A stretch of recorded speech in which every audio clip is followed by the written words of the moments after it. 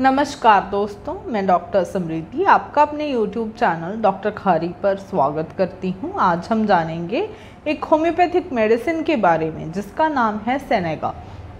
Senega जो medicine है, वो आप लोगों के रेस्पिरेटरी सिम्टम्स में दी जाती है रेस्पिरेटरी प्रॉब्लम्स uh, होने पर आप सनेगा का इस्तेमाल करते हैं।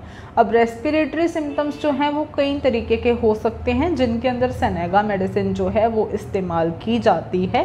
तो आज इस वीडियो में हम जानेंगे कि सनेगा जो है वो कौन कौन से सिम्टम्स होने पर यूज़ की जाती है और किस तरीके से लेनी चाहिए। तो आइए शुरू करते हैं और जानते हैं सनेगा होम्योपैथिक मेडिसिन के बारे में।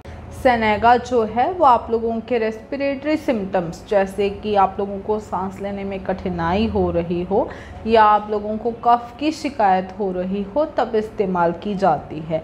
ये जो दवा है, ये ब्रोंकाइटिस में यूज़ होती है अस्थमा में यूज़ होती है। ब्रोंकियल अस्थमा की अगर आप लोगों को शिकायत रहती है तब ये दवा का यूज़ किया जा सकता है। इसके साथ ही अगर आप लोगों को लंग्स में पानी भरने की शिकायत हो गई है तब भी आप इस दवा का सेवन कर सकते हैं।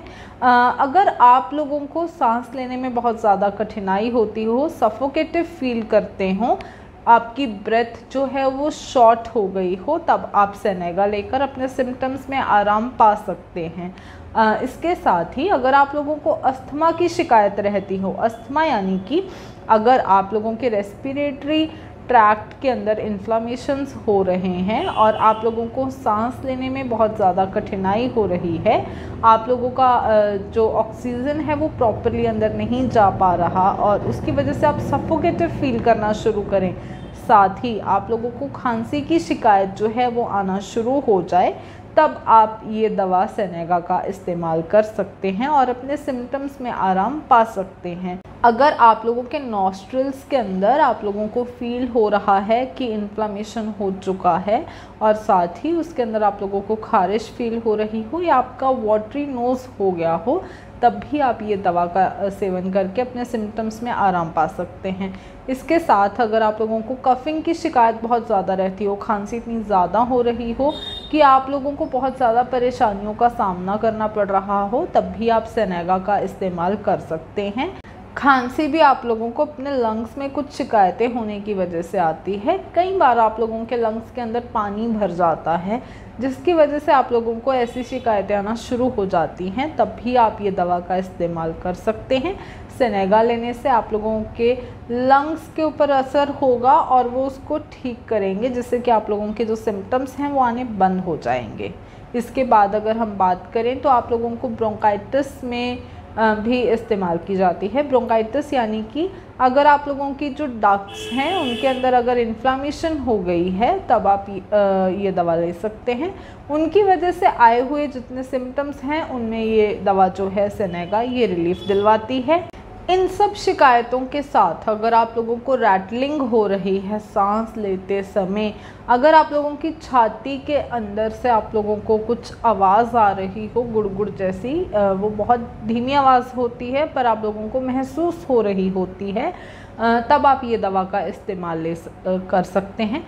इसके साथ ही अगर आप लोगों के चेस्ट के ऊपर आप लोगों को भारीपन महसूस हो रहा हो और कुछ दर्द रहता हो, तब भी आप ये दवा लेकर अपने सिम्टम्स में आराम पा सकते हैं। इसके साथ अगर आप लोगों को बोलने के अंदर शिकायत आ रही हो, यानी कि गले में हॉर्सनेस हो रही हो, यानी कि बोल जो है आप लोगों का नहीं निकल रहा हो और उसकी जगह आपको खड़खड़ हो रही हो बोलते हुए तब आप ये दवा का इस्तेमाल कर सकते हैं। और अगर सांस लेते हुए विजिंग की शिकायत हो रही हो या विस्लिंग हो रही हो, तब भी आप सेनेगा लेकर अपने सिम्टम्स में आराम पा सकते हैं। रेस्पिरेटरी सिम्टम्स में तो सेनेगा जो है वो अच्छा काम करती है। साथ ही अगर आप लोगों को आइज़ के अंदर कुछ सिम्टम्स देखने को मिल रहे हो, तब भी ये दवा जो है अच्छा काम करती है। अगर आप लोगों के आइज़ में से पानी निकल रहा हो या इन्फ्लामेशंस हो रहे हो आइज़ के अंदर कुछ रेडनेस आ रही हो या आइज़ जो है स्वेल कर चुके हों, तब आप इस दवा को देकर अपने आइज़ के सिम्टम्स में भी आराम पा सकते हैं। इसके साथ यूजली अस्थमा के साथ आप लोगों को आइज़ के सिम्टम्स देखने को मिल जाते हैं बहुत बार।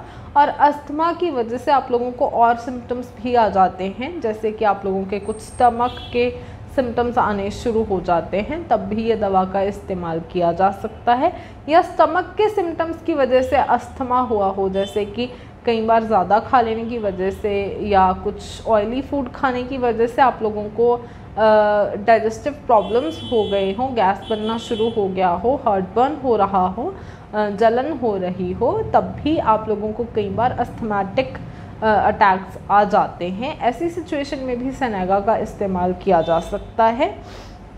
सनेगा मेडिसिन जो है, ये काफ़ी सारी पोटेंसीज़ में आती है। सारी होम्योपैथिक मेडिसिन जो हैं, वो मदर टिंचर के फॉर्म में भी आ सकती हैं। कुछ पोटेंसीज होती हैं, उनके फॉर्म में भी आ सकती हैं। तो डिपेंड करता है कि आपकी जो स्वेरिटी है किसी बीमारी की, उसके ऊपर डिपेंड करता है कि आपको कितनी डोज या कितनी पोटेंसी जो है दी जानी चाहिए। साथ ही आप लोगों का एज फैक्टर या आप लोगों का जो जेंडर है, वो उसके ऊपर डिपेंड करता है कि कितनी डोसेज आप लोगों को ठीक रहेगी, कितनी पोटेंसी के अंदर ठीक रहेगी तो आप अपने डॉक्टर से सलाह करके ही किसी भी होम्योपैथिक मेडिसिन का यूज़ करें।